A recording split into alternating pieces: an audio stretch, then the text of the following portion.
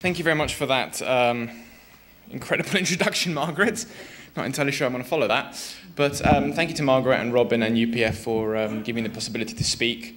Um, and thank you guys for listening. Um, I hope it will be uh, somewhat useful. So, um, as Margaret mentioned, my name is Matteo and I run an organisation called Shout Out UK. We're a youth network that tries to get more young people engaged and involved in politics by primarily running political literacy courses and media literacy courses in secondary schools and colleges. So this is about understanding how our system works, understanding what our councillors, what our MPs, how does a bill become a law, the sort of bare bone basics that frankly should already be on the curriculum.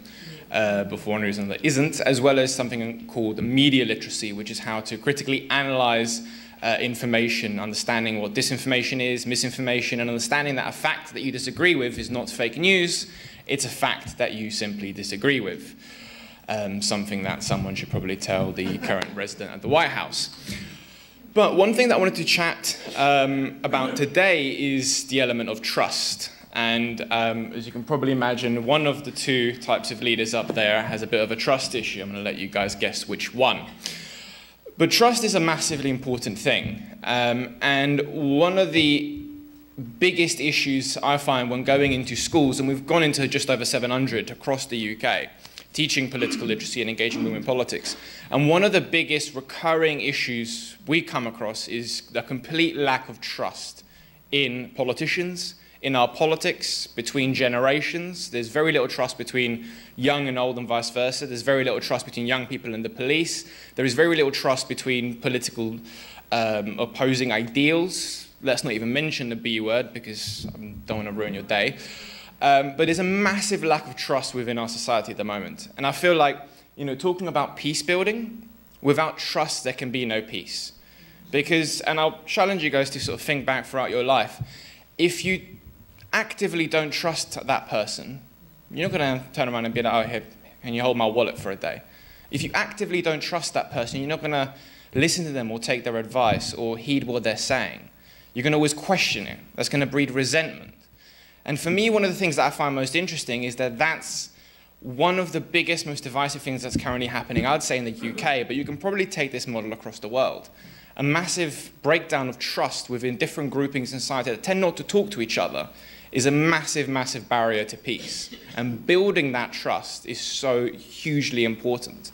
And one of the ways that we found that works really well is getting people together in a room, doing activities, hackathons, and engaging with them from different demographics, from different places in life, from different faiths, different creeds, whatever. And this is one of the reasons why I absolutely love UPF's mission, because it's the idea of bringing people that normally maybe not, wouldn't talk to each other but bringing them together for the spirit of building trust and building communication. Uh, we did an event, um, which may sound a bit strange, but bear with me. In July, we brought a load of young people together with politicians at Brunel University to play ping pong. It was a sporting competition between politicians, and then we had workshops and a debate and so forth. And what was incredible was that they started to break down those barriers because of that lack of trust and started talking to each other as if they're human beings. And in fact, one young person didn't realize that politicians were actually human beings because they don't seem like it on the media. And that, for me, was really quite interesting because the media and the internet, online social media, has corroded that trust even further. Because if you strip away their job titles, politicians are human beings at the end of the day. And if you consistently pick up newspapers, see on Twitter, another young person stabbed another young person, another young person's done that, another young person's done this, and the media obviously always prioritize a specific skin color because they're apparently the only people that are doing any of this, when in reality that's not true. You as a human being are going to want to start legislating and reacting in a certain way. In the same way as you're a police officer and you constantly see it in TV and you hear it from family and friends, you're going to start reacting that same way in your job. And then on the flip side, when young people, when they see online or when they ever have an interaction with the police, it's always negative or something like that, they're going to start building an element of distrust and dislike of that specific demographic without ever actually having a conversation with those other people, with that kind of industry. And breaking down those barriers and having that event we brought people together from different, essentially, walks of life was massively powerful, not just for the young people, but also for politicians to realize, hey, we're legislating on the wrong things.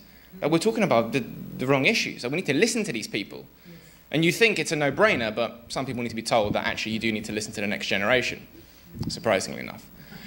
And what really cemented it for me was this coming general election on the 12th of December. Because what we're seeing is now, rather than going towards an element of trust and trying to connect and collaborate with each other, regardless of what age, demographic, ethnicity, or whatever you come from, we're actually entrenching ourselves even further. So you look at, for example, the way politicians are now, the way political parties, the garbage they're putting out at the moment is so inflammatory. Every single political party is guilty of it. And you see them put out fake statistics, misinformed facts, because they are essentially appealing to the lowest common denominator. They're appealing to people's fears. They're appealing to people's dislikes of another group that they've never met. They're appealing to fears that are just, there's no basis of reality in those fears. But they know that emotions up are more important than facts. I remember hearing one academic once say that we're living in a post-factual society where facts don't really matter. It's not about what's real, it's about what someone makes you believe is real. And that for me is so ridiculously true. It was true in 2016, it is true now. And the way we move forward from that, and I think all of us are responsible, but the way we move forward from that is making sure that we communicate with different groups that we don't normally communicate with. We as an organization, we try and strive to make sure that young people communicate with older people. Because one of the biggest issues now is there is a complete generational disconnect. You've got the, essentially, for lack of a better term, baby boomer generation that constantly hear about, you know, young people being soft or young people being, uh, what's the word, snowflakes and all this kind of rubbish. And saying, oh, well, you've never had it so easy because you've got a phone.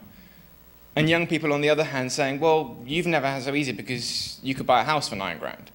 Whereas now I can buy a, well, I can't even buy a cardboard box for that amount of money. But it's different generations have different problems and different privileges from when they were born and when they were around. It's not a problem, but that communication is not there. And the only information we constantly get is from the media. And frankly, the media have a hell of a lot to answer for because they stoke that fear. And as soon as you remove the media from those conversations, like we did when we brought politicians and young people together, Suddenly we're talking like human beings. Because the media will only ever talk about a politician when he's, I don't know, fiddling expenses or when he gets caught with two prostitutes and smoke cocaine in a hotel, for example. Which, don't get me wrong, they should be exposed for those kind of issues. But when you're consistently fed that kind of negative narrative, is it really that shocking that young people don't engage with politics? Is it really that shocking that our voting turnout is about 60%? And up until, what was it, the youth quake in 20, I think it was 2017, youth turnout in politics was about 30%. And since the youth quake has gone up to 50%, we've got a massive crisis within our democracy where we have completely destroyed and eroded the trust of an entire generation in our political structure. And that is how, sorry, healing that is how you start to build trust. And how you build trust is how you start to build peace. Because without trust, without communication, without intergenerational dialogue, without dialogue between, between different political parties, different ideals, you're never going to have peace. And that's where the organizations, political parties, and all these kind of different groups, pressure groups, and all that kind of need to come together and be like, hold on, let's have an actual conversation. Let's not consistently focus on the negative. Let's not go down to the lowest common denominator and focus on emotions and feelings and focus on you know, things that will trigger someone just because they don't like a certain group for whatever reason. Let's try and bring people together from different groups because actually we've got a lot more in common than we actually think we do. And that, building that peace, sorry, building that trust and building that bridge of communication, I think is imperative and the first step to building peace. And for me, one of the biggest steps to building trust within, not specifically our political system at the moment, because I think it's got a lot of issues, but building trust in that we are in a country, we are in a place where you can change society for the better if you want to, because we have a lot of freedoms in this country. That starts with education. And that's what, for me, political literacy is the answer to a lot of things. Because you bring political literacy into schools, you empower people to have a voice, have a say on how society works. You teach them how to engage with it. You teach them how to become elected if they want to. You teach them how to vote, how to have a voice, how to campaign. You suddenly empower people to change society for the better, rather than this feeling of complete helplessness and hatred towards the system we live under. Thank you very much.